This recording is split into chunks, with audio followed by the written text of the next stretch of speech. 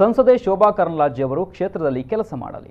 ಇತರ ಕ್ಷೇತ್ರಗಳ ಉಸಾಬಾರಿ ಯಾಕೆ ಎಂದು ರಾಜ್ಯ ಮಹಿಳಾ ಕಾಂಗ್ರೆಸ್ ಪ್ರಧಾನ ಕಾರ್ಯದರ್ಶಿ ಪ್ರತಿಭಾ ಕುಳಾಯಿ ಪ್ರಶ್ನಿಸಿದ್ದಾರೆ. ಮಂಗಳೂರಿನಲ್ಲಿ ನಡೆದ ಮಾಧ್ಯಮಗೋಷ್ಠಿಯಲ್ಲಿ ಮಾತನಾಡಿದ ಅವರು ಜಿಲ್ಲೆಯಲ್ಲಿ ಕೋಮು ಗಲಭೆಯಾದಾಗ ಪ್ರಚೋದನಕಾರಿ ಹೇಳಿಕೆಯನ್ನು ಶೋಭಾ ನೀಡುತ್ತಿದ್ದಾರೆ. ಇವರ ಹೇಳಿಕೆ ಮತ್ತಷ್ಟು ಗಲಭೆಗೆ ಕಾರಣವಾಗುತ್ತಿದೆ. ಅದರ ಬದಲು ಅವರ ಕ್ಷೇತ್ರದ ಅಭಿವೃದ್ಧಿ ಕೆಲಸ ಮಾಡಲಿ ಎಂದು ಸಲಹೆ ನೀಡಿದರು. ಶೋಭಾ ಕರಂದ್ಲಾಜೆ ಅವರು ಬಾಯಿ ಬಂದ ಹೇಳಿಕೆಗಳನ್ನು ಕೊಡ್ತಾರೆ.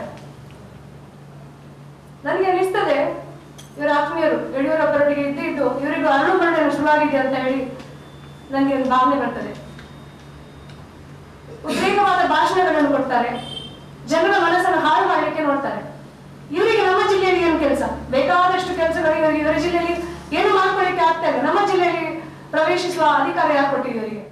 ಪ್ರತಿಭಾ ಕುಳಾಯಿ ಅವರು, ದೀಪಕ್ ರಾವ್ ಹಾಗೂ ಬಶೀರ್ ಅವರ ಕೊಲೆ ಪ್ರಕರಣಗಳ ಹಿನ್ನೆಲೆಯಲ್ಲಿ ಮಾಧ್ಯಮಗಳಿಗೆ ನೀಡಿರುವ ಹೇಳಿಕೆಗಳಿಗೆ ಪ್ರತಿಕ್ರಿಯಿಸಿ ಮಾತನಾಡಿದರು.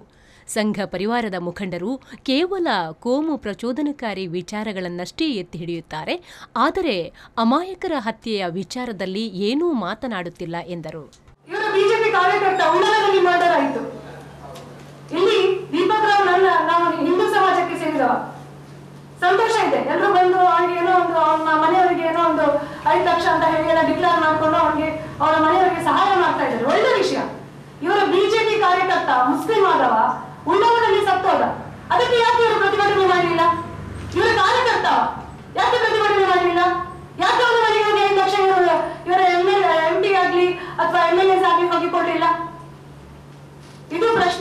ಸುರತ್ಕಲ್ ಬ್ಲಾಕ್ ಕಾಂಗ್ರೆಸ್ ಅಧ್ಯಕ್ಷ ಕೆ ಕೇಶವ ಸನಿಲ್ ಮಾತನಾಡಿ, ದೀಪಕ್ ರಾವ್ ಕೊಲೆ ಪ್ರಕರಣದ ಹಿಂದಿರುವ ಸತ್ಯಾಸತ್ಯತೆಯ ಕುರಿತಂತೆ ಪೊಲೀಸರು ತನಿಖೆ ನಡೆಸಿ ಕೊಲೆಗೆ ಕಾರಣ ಏನು ಎಂಬುದನ್ನು ಬಯಲಿಗಿಳೆಯಬೇಕು ಎಂದು ಆಗ್ರಹಿಸಿದರು.